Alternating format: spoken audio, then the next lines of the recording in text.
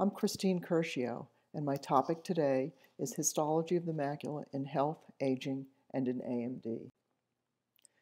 AMD is a vascular metabolic disease in which extracellular deposits, soft drusen and subretinal drusenoid deposit, increase risk for progression to atrophy and neovascularization.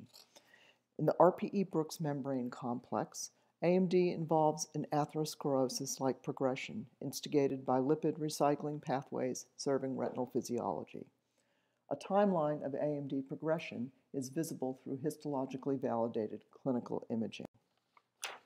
We begin with the biology and aging of the macula, focusing on the cells, layers, and regions, and the unique neuroglial relationships that are supported by the RPE choroid. A neurovascular unit includes all the neurons, glia, and vascular cells that couple blood flow to the metabolic demands of the neurons. The outer retinal neurovascular unit comprises the RPE and choroid, which together support the photoreceptors and Mueller cells that evolved for high acuity vision. The human retina comprises 21 layers and clinically relevant spaces. These layers contain the photoreceptors and the Mueller glia, the RPE, and the choroid. The spaces are between the photoreceptors in the RPE, that is the subretinal space, and between the RPE basal lamina and the inner collagenous layer of Bruch's membrane. The retina has at least 60 neuronal cell types plus glia. We will attend to just these the rod and cone photoreceptors, the Mueller glia, the RPE, and the choriocapillary endothelium. Vision starts in the outer segments of the photoreceptors and information transferred inwardly through the cell bodies in the outer nuclear layer and the synapses in the outer plexiform layer. Neurobiology defines the macula as an area with a continuous layer of ganglion cells in the inner retina. It is 6 millimeters in diameter and contains a cone only fovea surrounded by a rod do dominated perifovea. This same area is encompassed by the ETDRS grid that is used for grading color fundus photographs. Many people treat the fovea and the macula as equivalent, and they are definitely not. We mapped the human retina using whole mounts like those on the last slide to accurately represent phototopography over the entire retina, building on prior smaller studies. We learned that the human retina is rod dominated, 20 to 1 rod to cone ratio, even in the macula, where it is 9 to 1 in a young adult. The cone only foveola is 0.8 millimeters in diameter. We found more cones in the nasal retina, on the left side of each map. Rods were numerous in an elliptical rod ring that swings out around the optic nerve head, which is in black, with a hot spot in superior retina. Importantly, the 6 millimeter diameter macula is less than 3% of total retinal area, which impacts design of our experimental studies. It takes a macula to support the fovea. And here I want to highlight the Henle fiber layer. The ganglion cells that transmit parallel pathways of information from the cone photoreceptors to the brain are very numerous, and the photoreceptors project laterally to the bipolar interneurons so that all the cells can be fit in around the foveal pit. In a Golgi stain, these inner fibers of cones, rods, and Mueller cells, which are interleaved, can be up to 600 microns long, and the photoreceptors have unique electrical properties. In this flat mount of a monkey retina, we can see the individual Henle fibers uh, across the entire macula. The Henle fiber layer is visible in OCT with directional lights, and it consists of 14% of the total macular thickness.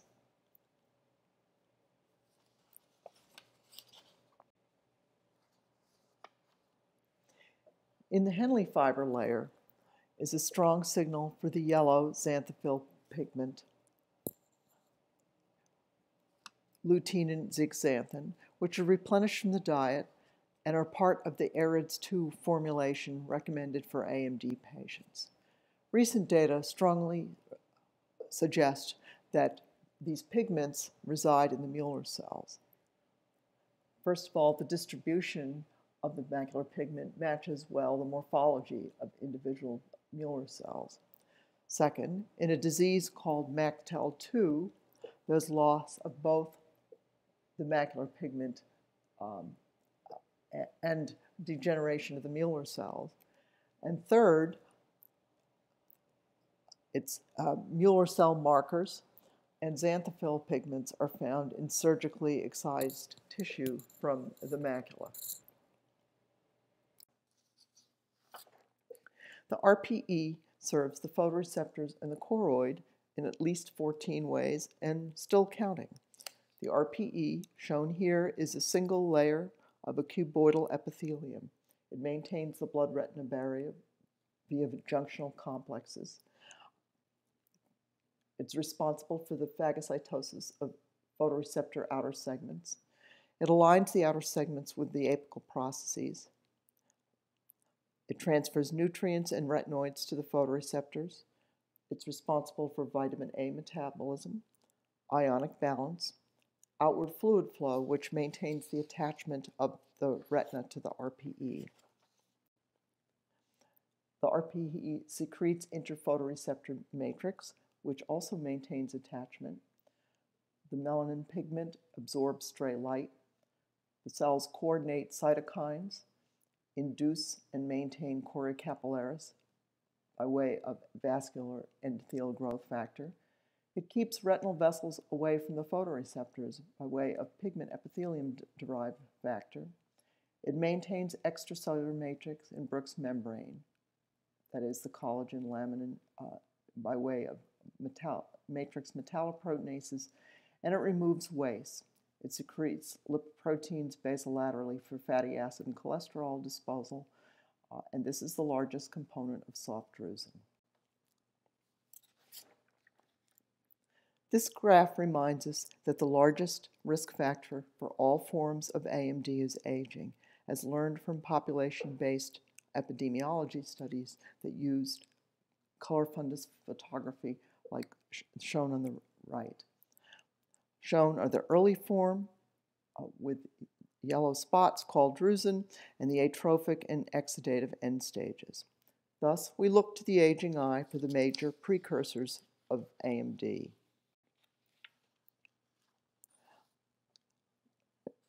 Going from layer to layer, we'll start with the photoreceptors. Using the accurate and unbiased cell counts shown previously, we showed that rod topography here in a color-coded contour map in youngest and oldest adults. There is a clear diminution of rod density, which is best seen in the dif difference map on the right. The area of greatest loss, the dark blue and purple, forms an annulus directly adjacent to the cone-enriched fovea. In the same eyes, the cones are stable. In the flat mounts, uh, in an older eye, uh, any cell loss appears to have been filled in, uh, so there are no gaps. Uh, up until this point in time, it was known that both cone and rod function deteriorated in AMD, but the cones and rods had not been counted in the same well-preserved eyes. In the RPE, a prominent age change is the accumulation of lipofuscin. RPE lipofuscin starts as photoreceptor outer segment tips. These tips are internalized daily and bind with lysosomes to create long-lasting residual bodies. Every cell's lipofuscin composition is unique. And unlike neurons, lipofuscin in RPE is less than 2% protein, and it's very rich in autofluorescent bisretinoid compounds which are vitamin A derivatives. A2E is one particularly well-studied compound.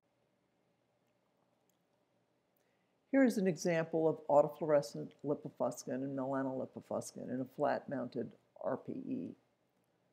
Using the same mapping methods as used for the photoreceptors, we showed that older eyes have more autofluorescence than younger eyes.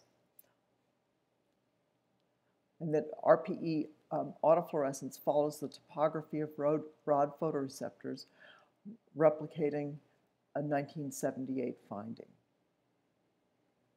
Finally, the density of RPE cells here in the central retina does not change with age, despite the accumulation of lipofuscin consistent with previous studies using fairly large samples to count cells alone.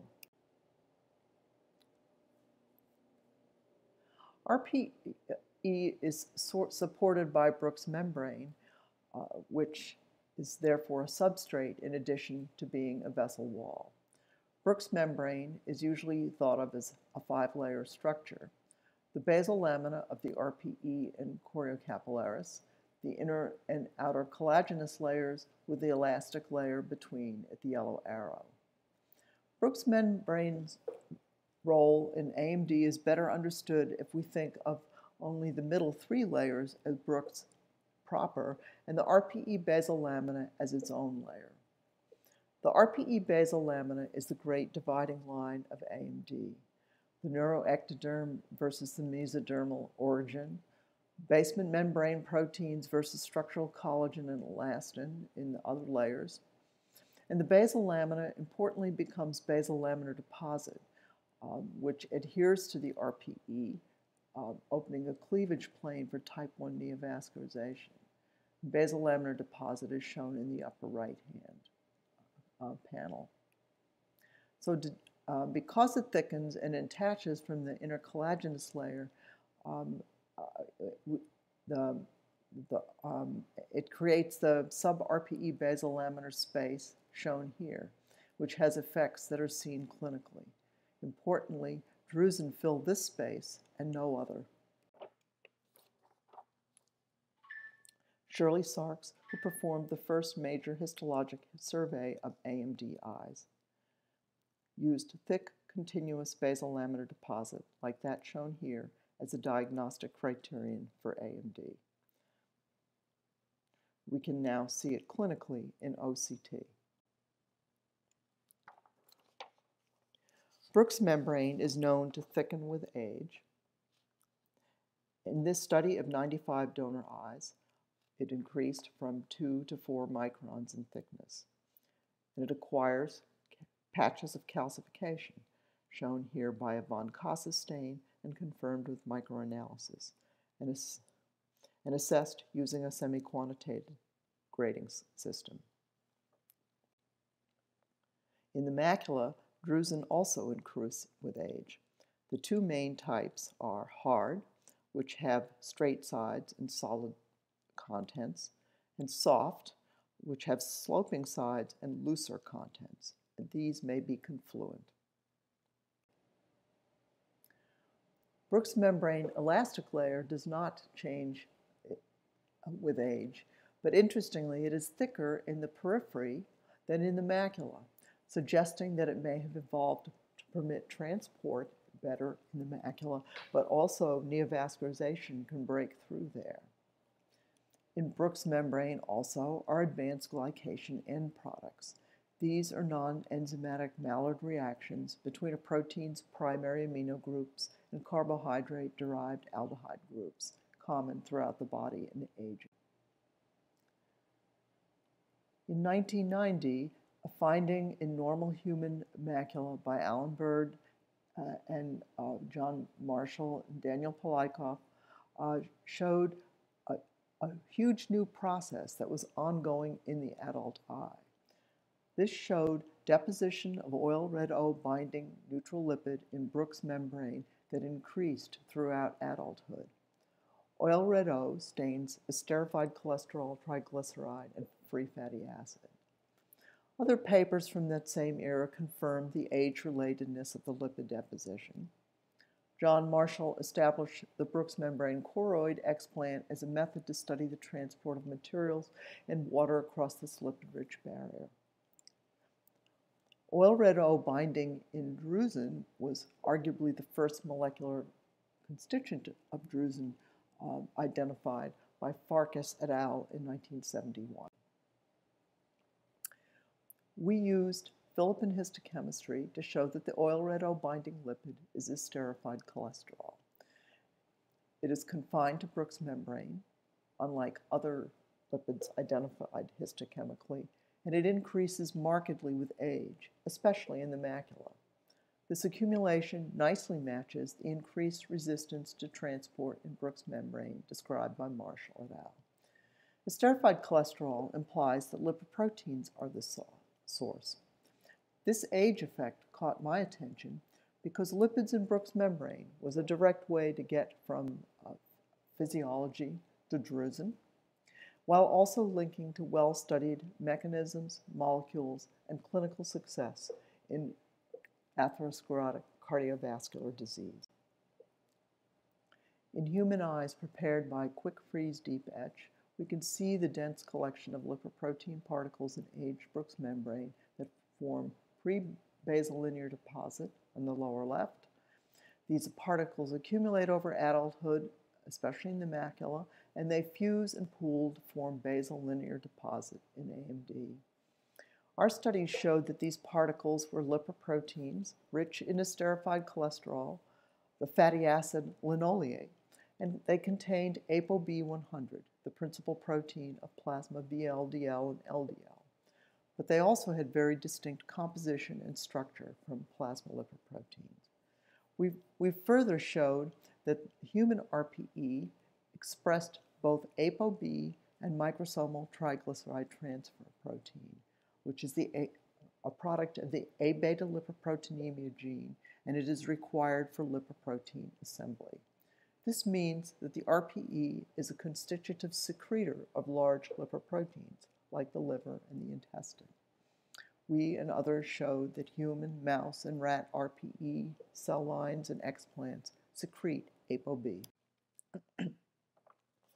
Moving to the next layer, the choriocapillaris.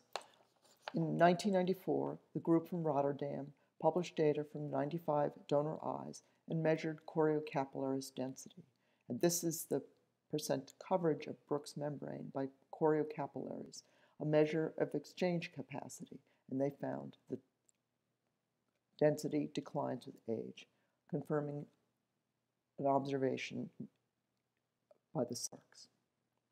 More recently, Rob Mullins and his group have found that membrane attack complex, the terminal effector of the complement pathway, which is implicated in many genetic studies, localizes to the choriocapillaris and Bruch's membrane, starting in childhood and increasing throughout adulthood, suggesting a molecular mechanism for choriocapillary endothelial cell death that also links to the genetic susceptibility to AMD. In the same 1994 study, the Rotterdam group reported thinning of the choroid. This is now visible through enhanced depth imaging OCT and has been reported by many groups. By the numbers, AMD is a vascular originating disease. In aging, the choriocapillary endothelium decreases, the RPE is stable. Bruch's membrane fill, fills with debris and lipids, and the rod photoreceptors decrease in number. We interpret this to mean that the RPE takes care of itself and supplies less to the photoreceptors over time. Using the lipids in Bruch's membrane as a springboard, we learned a lot about AMD from the study of atherosclerosis. The two diseases chronic diseases of aging, featuring calcific, inflammatory, and neovascular complications, toxically modified lipoprotein components in vessel walls, lipid-rich, biomechanically unstable extracellular lesions that occur in stereotypic vascular locations. These start by lipoprotein binding to extracellular matrix in aging, and they involve um, um, the the age-related thickening of the subendothelial space, which here is Bruch's membrane, the physical and chemical forms of cholesterol. We need lipoprotein particles as cholesterol sources, a, a cellular source for those particles, which is the liver and the intestine in atherosclerosis. Physiological needs driving lipoprotein production, which are in the eye, are still a, a matter of hypothesis. We found that the RPE expresses genes and proteins uh, indicating that it, it is a constitutive secretor of large ApoB and E lipoproteins. And this world of intraocular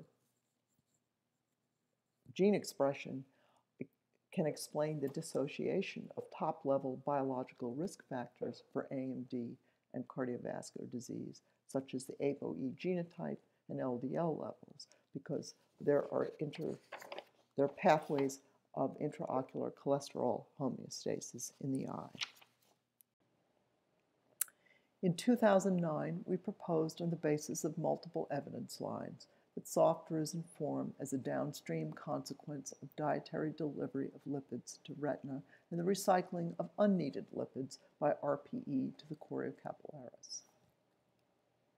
In 2013, we proposed on the basis of histology that subretinal drusenoid deposits, which I will talk about momentarily, are plausibly part of the same system of outer retinal lipid recycling.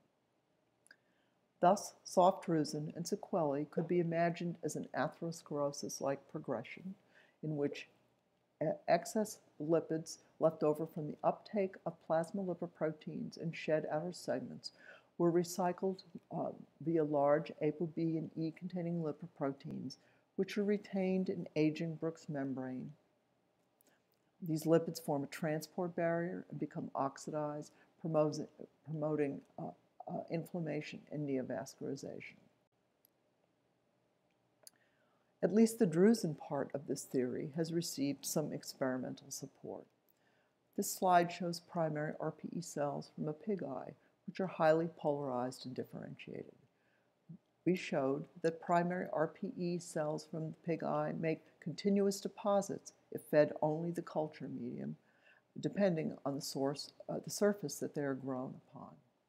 This shows that diet is indeed important and that outer segments, which certainly contribute to deposits in vivo, are not required, consistent with the role of the ApoB system uh, being uh, driven by fatty acid uh, cycling. This shows that soft drusen form because the RPE is functional and clearance through the Bruch's membrane choriocapillaris is impaired. One modified lipid that could contribute to inflammation and neovascularization is 7-ketocholesterol. This oxysterol can form from unesterified cholesterol by enzymatic or non-enzymatic means through the action of free radicals. Ignacio Rodriguez's lab showed that in non-human primate eyes, which also have lipids in Bruch's membrane, RPE choroid, but not the lens or the retina, accumulate 7-keto cholesterol with age. This study had many eyes preserved for assay shortly after death. Further, this compound was shown to be proangiogenic in vivo using a corneal microimplant assay.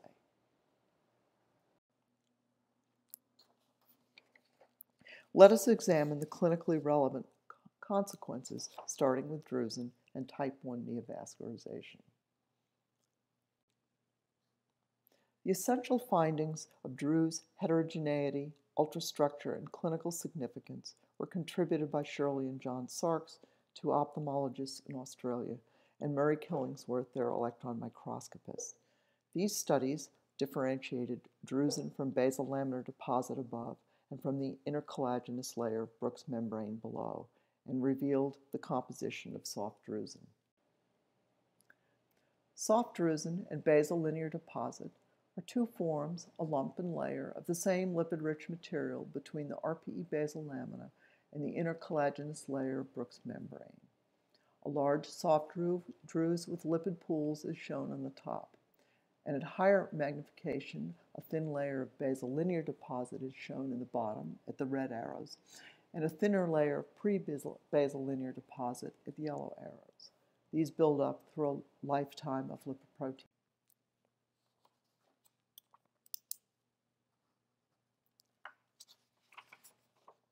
Soft drusen are distinct from hard in shape, as shown before, and in ultrastructure, shown here in a, a clinically documented specimens from the Sarks collection. And you can see the difference between the hard and soft drusen. Soft drusen confer high risk for progression. They tend to collect in central macula, eh, which potentially ties them to foveal physiology. Here we see transmission electron microscopy of what the Sarks called membranous debris, which is overwhelmingly the main component of soft drusen, shown here at higher magnification, secretion.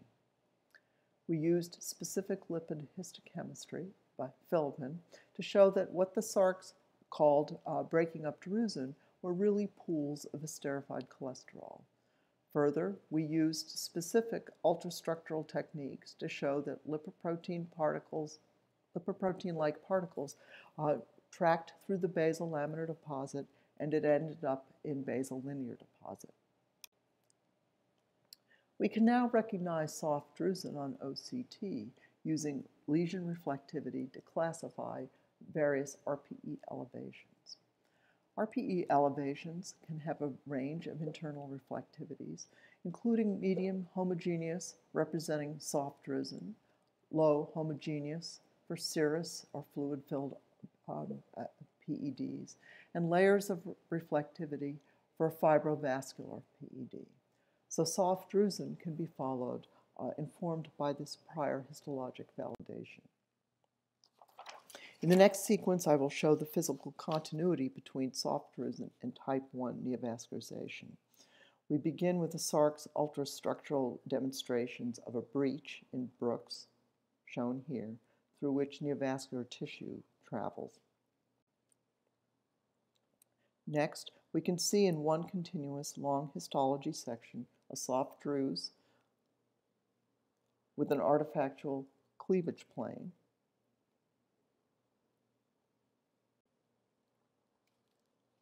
A few hundred microns away is a breach in Bruch's membrane through which neovascular tissue, complete with activated pericytes passes through. Between these two locations, there is sub-RPE basal laminar fluid, continuous with the druse and the exudative uh, fluid from the neovascular membrane.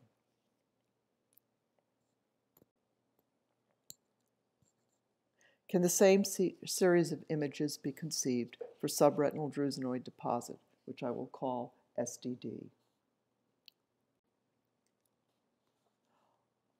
Over the years, this patterned biomicroscopic sign, shown here in color fundus photography, infrared reflectance, autofluorescence, and finally OCT, has been called many names depending on the investigators and the detection technology used.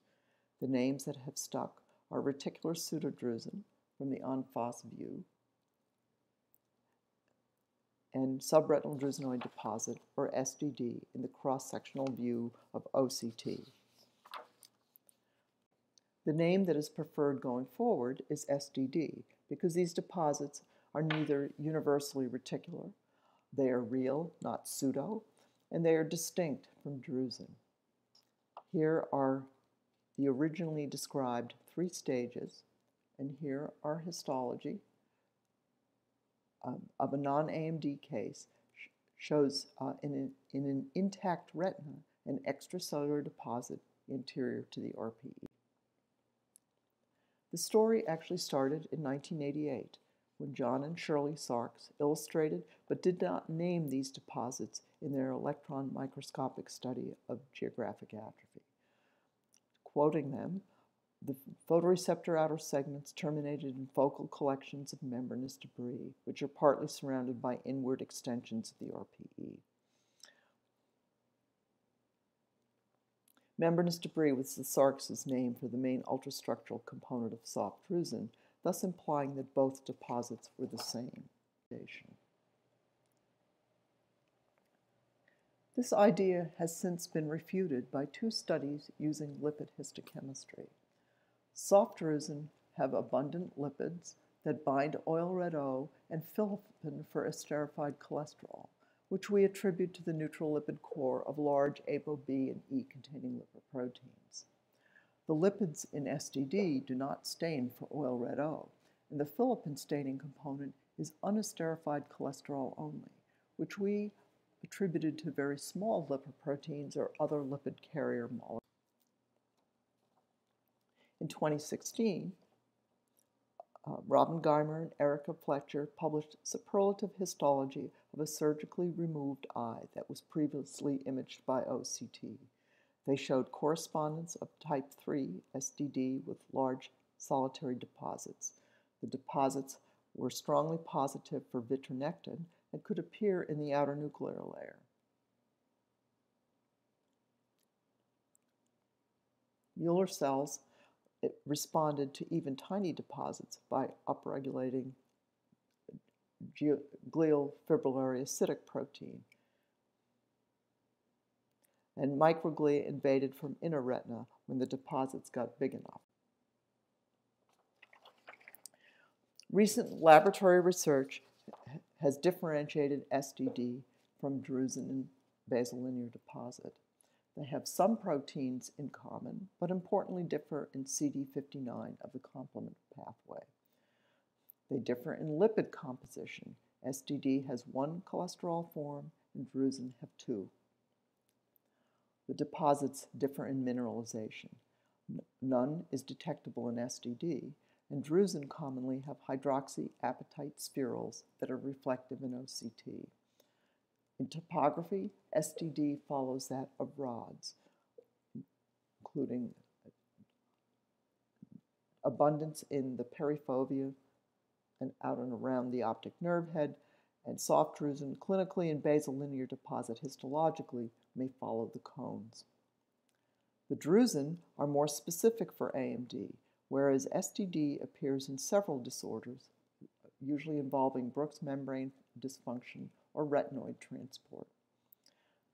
And uh, SDD has a different clinical course for neovascularization, which I will follow up next.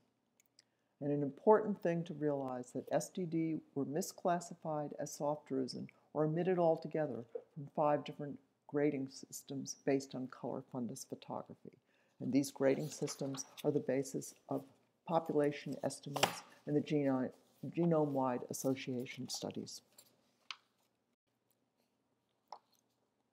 But we do know about SDD and drusen and their role in type 3 neovascularization, which is also called retinal angiomatous proliferation. Type 3 neovascularization is associated with SDD presence in a very high proportion of eyes, shown in many studies, but also drusen are present. Type 1 neovascularization in drusen, since I just showed you, involve an invasion of abnormal materials, deposits, cells, and fluids into the sub-RPE basolaminar space. So we can hypothesize that SDD and intra or subretinal neovascularization involve invasion of abnormal materials into the subretinal space. This is a direct clinical pathologic correlation of treated type 3 neovascularization in an eye that also had SDD. An 86 year old woman presented with a pigment epithelial detachment associated with intraretinal cysts and hyperreflective foci and received intravitreal bevacizumab. By the second visit, the PED uh, disappeared, leaving uh, drusen and the hyperreflective foci remained. There were six injections. The patient died a few months later and became an eye donor.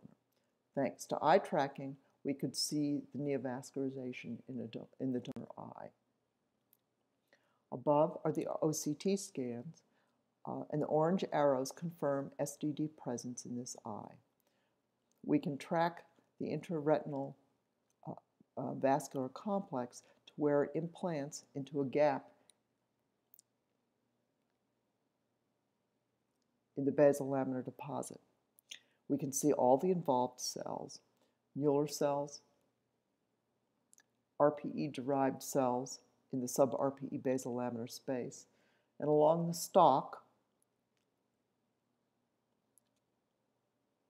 and importantly, Bruch's membrane is intact, so there was no choroidal contribution to this neovascular complex, which is consistent with previous studies. We also saw cells um, that appeared to be macrophages.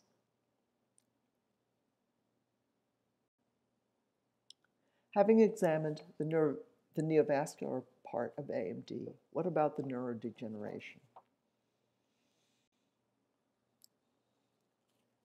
Geographic atrophy is described by the Sarks, in their own words, at the edge of the depigmented area the histological changes are constant. The RPE often ended in a group of proliferative cells. The photoreceptors showed progressive degeneration as they approached the atrophic area in which they disappeared. And the external limiting membrane, the ELM, ended in a curved line, and the outer nuclear layer also disappeared.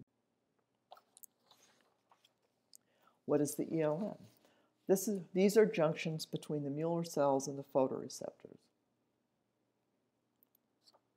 In shown here by electron microscopy. And in, in, an, in an en face view, the Mueller cells form a Swiss cheese, and the rods and the cones poke through the holes of the cheese. Mueller cells are usually vertical or in the macular, they're Z-shaped. But here, I'm going to show cells that express glial fibrillary acidic acid, uh, indicating that they're gliotic and not performing their usual functions. Research by us and Michelle Madigan and her group showed that the curved line was GFAP positive Mueller cells that are now bent horizontally. We called this landmark the ELM descent, and we used it to analyze the mechanisms of GA that might be visible by OCT. We used high-resolution histology of 13 eyes, and on either side of the ELM descent, shown by the red line, we annotated RPE morphology and measured the thicknesses 500 and 100 microns away using unbiased sampling methods um, to assess both progression and clearing. And we did a similar analysis for both geographic atrophy and neovascular AMD to look at the RPE. In doing so, we assessed um, the fate of RPE cells, uh, which are central to AMD deposit formation and neovascularization, Using high-resolution histology, we identified 15 morphologic phenotypes ranging from normal to here to atrophic uh, without any basal laminar deposit here. We saw cells scattered across the atrophic zone. We saw cells shedding parts of themselves, cells leaving the layer anteriorly and migrating into the retina found cells that we called subducted that were diving under the RP layer to crawl along Bruch's membrane. Using this approach, then, we quantified the progressive dysmorphia, or worsening of cell shape near the ELM descent, which resulted in a 20% thickening of the RPE plus basal laminar deposit layer. It's possible that this thickening could be quantified in OCT. It also can impact on clinical autofluorescence imaging, as shown in the next slide. In geographic atrophy of AMD, the RPE dies and autofluorescence disappears. The border is often hyperautofluorescent. Our histology of 10 GIs whose edges were sampled in an unbiased manner shows enlarged, stacked layered cells, and autofluorescent material in the underlying deposits and overlying retina. This dysmorphia explained the higher uh, signal, and we can see the RPE dysmorphia by SDOCT. Importantly, we learned from these studies of histology and clinical imaging how RPE dies off the top of drusen.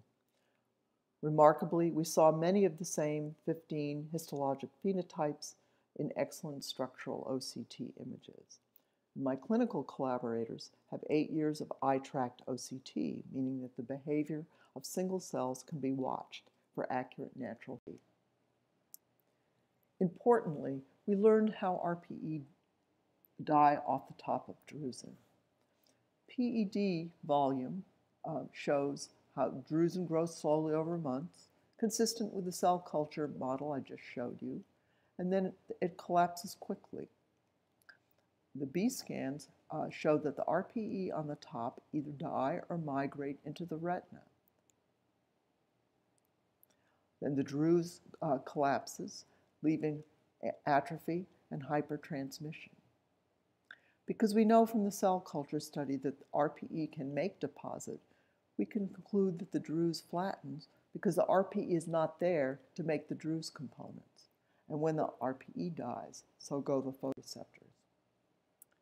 Here is another route to atrophy that we call the plateau, which is the di disappearance of the RPE and the persistence of a basal laminar deposit line across uh, the atrophic area.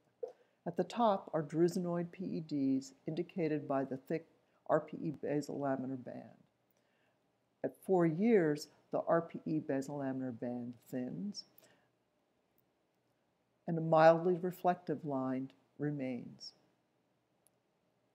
A close-up shows those hyperreflective spots leaving the layer in association with the hypertransmission below. Below the line of basal laminar deposit, there is reflectivity that we think represents Mueller cell activity. We call this the plateau. Why do these cells migrate into the retina? Well, one idea um, we can see from this clinical pathologic correlation of type 3 neovascularization, um, we can see that there are hyperreflective foci that can be accounted for by two cell types. Fully pigmented RPE uh, can migrate into the retina and then uh, right up to a capillary, suggesting that it is seeking oxygen, consistent with modeling studies um, indicating uh, reduced levels of oxygen at the top of a large druse. Here is a lipid-filled cell uh, that we think is a micro, of microglial origin scavenging extracellular lipids from this exudation. To continue along the layers, what is happening to the choriocapillaris? Well, um, the membrane attack complex accumulates and UEA1 lectin binding disappears, indicating that the choriocapillary endothelium disappears. Loss of choriocapillaris um, um, occurs in conjunction with drusen load, and that be is because there are more of these ghost vessels, um, spaces uh, between in, uh, below Bruch's membrane where vessels had occupied. And I will show you these in, in uh, another slide. Also, um, here's loss of the specific marker CD34 before the vessel itself disappears. So this is non-functional endothelium. Jerry Lutty and Johanna Seddon, using lectin binding and laser confocal microscopy in clinically characterized eyes, showed changes of the choriocapillaris in geographic atrophy. In the center of the atrophy, there was 50% loss of vasculature in the submacular choroid. The percent vascular area was uh, about 38% um, uh, in the atrophy, compared with over 80% outside the atrophy.